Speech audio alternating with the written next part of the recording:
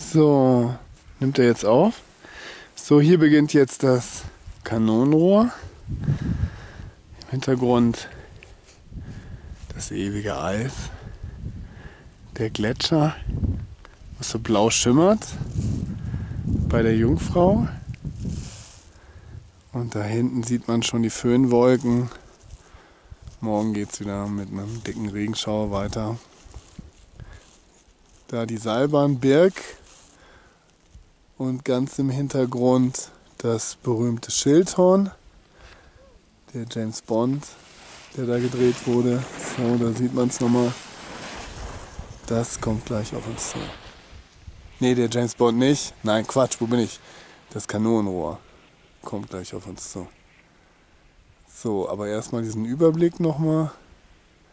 Schildhorn, Birk und das ewige Eis der Jungfrau im Hintergrund.